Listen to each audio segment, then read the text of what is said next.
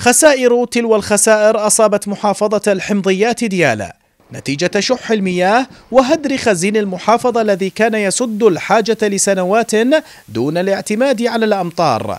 فبعد موجة التصحر والجفاف التي تسببت بخسارة الآلاف من الدوانم الزراعية والبساتين اليوم خسائر كبيرة تلحق بالثروة الحيوانية نتيجة عدم وجود الأعلاف والمياه. خسرنا تقريبا 100 ألف رأس. الموسم الماضي مقارنة بعام 2019 في الأغنام خسرنا تقريبا 90 ألف رأس بالماعز بالأبقار خسرنا تقريبا 10000 رأس. هاي كلها طبعا راحت انتهت بسبب أنه ما يقدر عجز المربي إنه يوفر الأعلاف اللازمة لها ما يقدر يزرع ما عنده مي امطار قليلة ما صارت مراعي.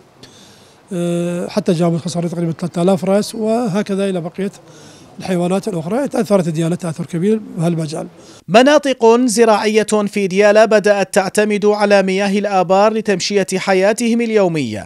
لكن حتى الآبار أصبحت لا تصلح للاستخدام نتيجة ارتفاع نسبة الملوحة فيها وهذا ما سبب خسارة أعداد كبيرة من المواشي ما دفع الكثير من سكان قرى الندى شرق ديالى للهجرة من الريف إلى المدينة حتى الآبار جفت. الآبار الارتوازية جفت. وبيها مي كان عندنا مي مر بس هسه صار مي مالح.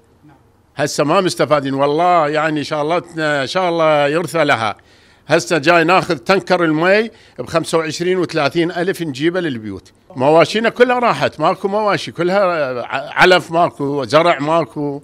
هذا صار صار حوالي بالسنتين ثلاثة ماكو انتهت. يعني حتى المواشي آه، أتلفت ولان اعلاف ماكو آه، زرع.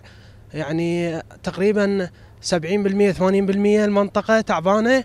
هي منطقة زراعية. عزوف مربي المواشي في القرى والأرياف خاصة بحدود ديالى.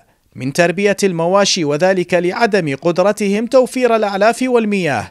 ما دفعهم لبيعها بأسعار بخسة ما يعني أن الثروة الحيوانية في ديالى مهددة أيضا. علي إبراهيم قناة دجلة ديالى